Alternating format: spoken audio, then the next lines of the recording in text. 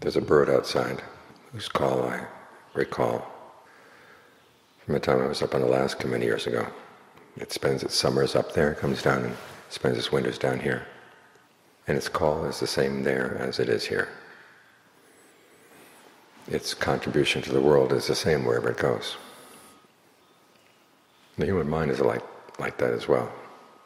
It's not that we're totally the result of our environment, and if you change the environment, we're going to change. There's a lot inside of us that stays the same regardless of the environment outside. Now that can be good or bad. The bad side is when you, have lots of unskillful habits, unskillful qualities, and no matter where you go, those are the ones that come out, shape your experience.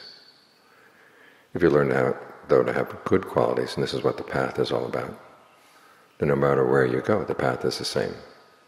Starts with right view, ends with right concentration, and then goes beyond that to right release.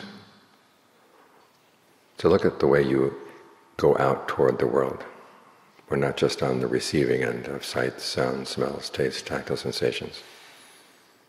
We're actively shaping things. You have to ask yourself, how well am I shaping my experience? Who's shaping the experience? Is it greed shaping my experience, anger, lust, delusion, fear, jealousy?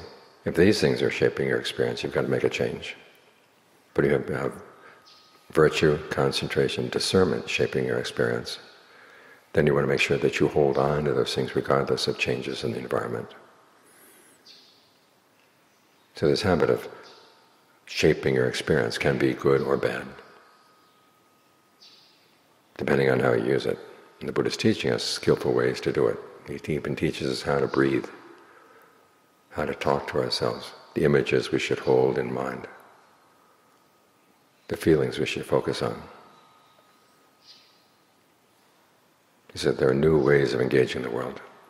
If your ways are unskillful, he teaches you some skillful ones. If, you, if your habits are already skillful, he encourages you to make them even more so.